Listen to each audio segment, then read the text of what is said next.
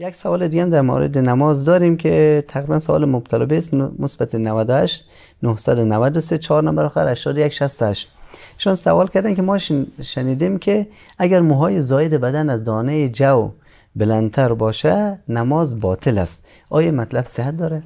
خدمت شما و بینندگان عزیز ارز کنیم گاهی از اوقات از چنین فتاوا و دستوراتی در بین عوام الناس در جامعه ما هست.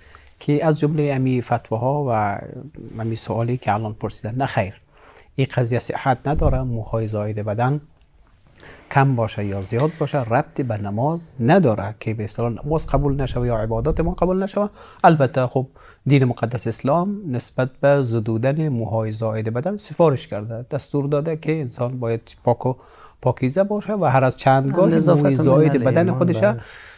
برطرف کنه و این طبیعی هم هست و هر انسانی از نظافت و پاکی و آراستگی خوشش میاد. اما این که ما رو به نماز گره بزنیم که اگر اینی قدر شد نماز درست است بالاتر از او شد نماز باطل است نه همچین گپایی نیست.